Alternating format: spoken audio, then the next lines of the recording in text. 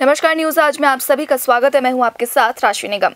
मुरैना के पशुपतिनाथ मेले में राष्ट्रीय दंगल हुआ, जिसमें देश भर से पहलवानों ने ज़ोर आजमाइश की।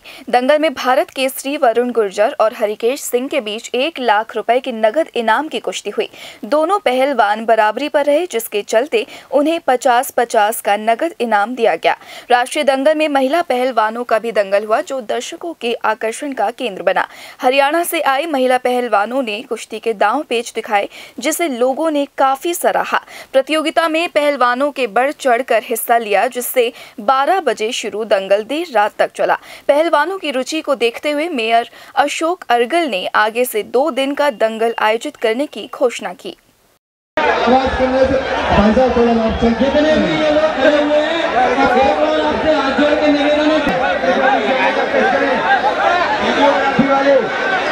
जो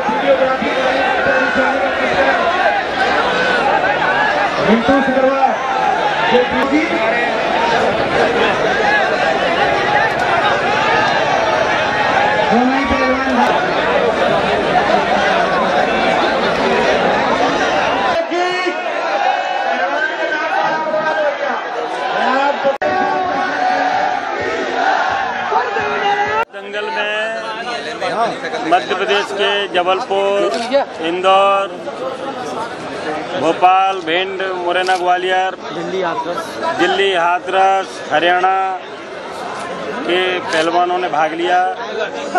पिछले साल नहीं हुआ लेकिन उसकी भरपाई करते हुए इस साल हमने एक लाख रुपए की आखिरी कुश्ती जो कि नीचे की कुश्ती सौ रुपए से शुरू की थी ये दंगल का आयोजन किया। मुरैना से गजेंद्र सिंह तोमर की रिपोर्ट। फ़िलहाल के लिए इतना ही आप बने रहिए न्यूज़ आज के साथ।